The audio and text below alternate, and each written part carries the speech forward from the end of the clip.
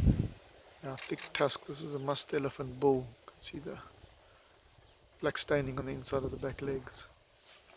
You can see how he's dribbling from his penile sheath the whole time.